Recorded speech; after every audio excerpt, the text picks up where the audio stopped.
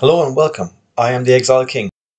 And today there's been a major update for this game right here, Medieval Dynasty. So I'm excited to show you about that. Um, first of all, I'm making my way over to see Sambor because he's gone and built himself a new house.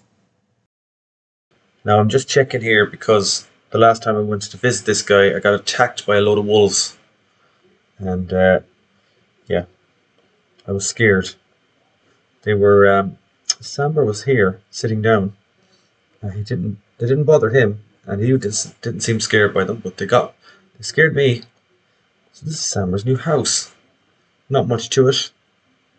Same as most other houses. Other things that have been added to the game, you can now build these kind of benches here, uh, the workbench and these stools. So that's good to see. And I'll just click on technology here. So if I click into resource storage, first of all, uh, so yeah, you can build a simple wooden stool, uh, wooden table, and yeah, lanterns, torches have been added, and lanterns. So they'll be good for lighting up um, your village and giving them more character at night time because we're all looking forward to that. Uh, wooden table, lanterns. It's the one I was just talking about. Um, be a while until I unlock that. Uh, but yeah, and that's pretty much it for that category. Then on the workshop, they've unlocked wooden ladles, wooden spoons, uh, wicker baskets, small, medium, and large. There's some new clothes, I think, as well. Um, there's definitely new backpacks, so uh, you can carry more weight with those.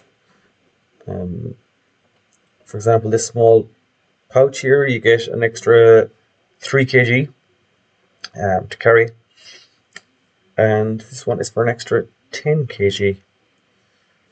So that's useful when you're um, logging like stuff like clay around or logs.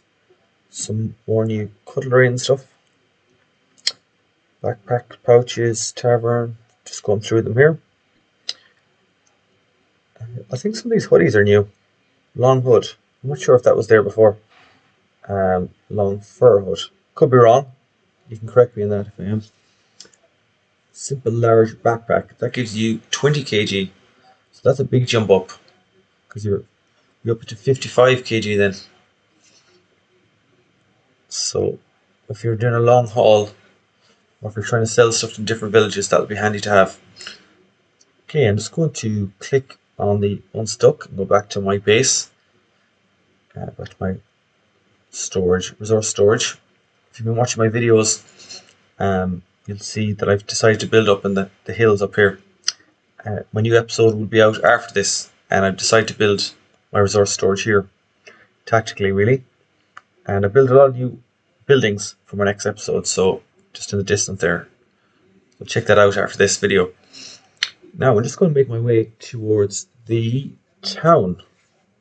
And while I do that, let's talk about events so events have been added to this game, and let me see this here. Um, so events. One day you might have to deal with heavy rains that damage your crops, but a few months later, your people might get a significant boost because the joy of spring can be felt in the air. These events can have a major impact on your game and will test your wits, leadership, and tact. Um, so it also says here, sorry, that you will be faced with many scenarios that can play out depending on how you deal with them. We have a picture in their thing, and it says here, Man in tights, a nobleman was passing through your village. He lost his purse in front of you. What will you do? Return it to the nobleman and get a 100 dynasty reputation, but minus 5 mood. Now I'm guessing that minus 5 mood is for the villagers you have. Um, option 2, let your people have it and you get plus 10 mood. I'm guessing that's for all of the villagers, so that's not bad either. And then option 3, take it for yourself. You get 100 coin and minus 15 mood. So that seems like a, a very bad option. So early on in the game, I'd say option 1 seems the best for 100 dynasty reputation. Um, I don't know, mood is not majorly significant at this moment um, in time. So minus 5 hit uh, doesn't seem so bad.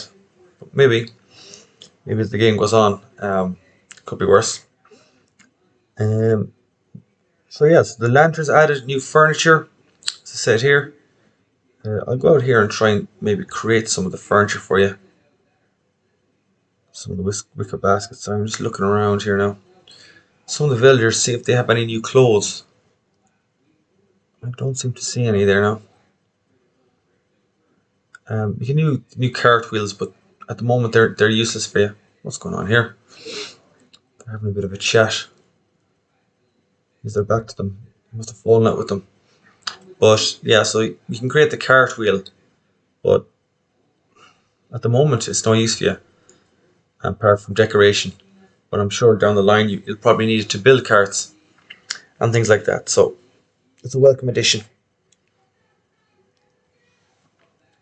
And apart from that, there's not much else new to add. Um, there's a few new fixes, bug fixes, and things like that. So they added here new game features events is added, customized gameplay settings, new furniture, two stools, bench and a table, new facilities to illuminate the village, so standing torch and lantern as I showed, uh, new types of items to increase characters' inventory capacity, backpacks and pouches, new village management notifications on HUD, inhabitants provide fur in the hunting lodge now, new sounds of filling the bucket with water, use sounds of pouring water from the bucket, removing NPCs from the house via the building details menu or the NPC details menu.